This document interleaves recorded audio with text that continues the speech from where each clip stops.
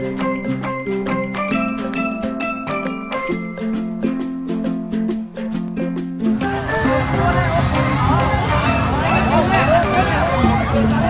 lùm luôn nào, lùm luôn chứ mấy.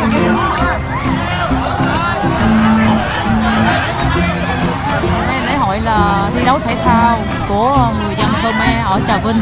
Lễ hội ốc on board các bạn đang xem là lễ hội kéo co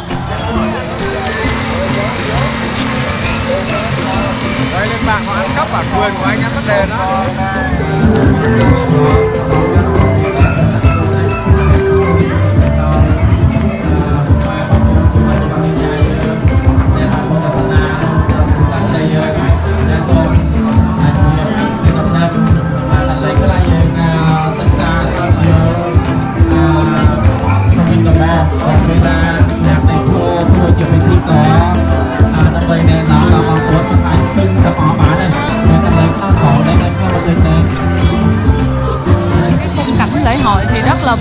Nha các bạn.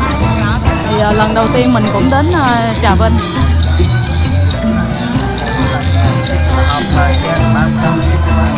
Lễ hội này à, của người Khmer nhé các bạn. Khmer sống tại Trà Vinh.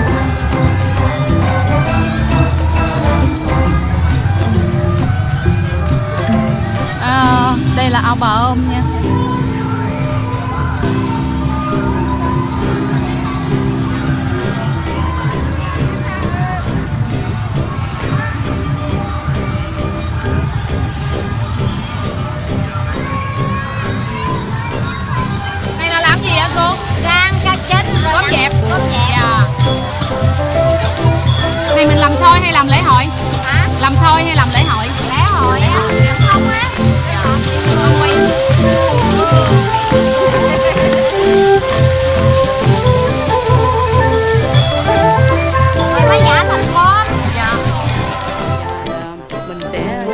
Một điểm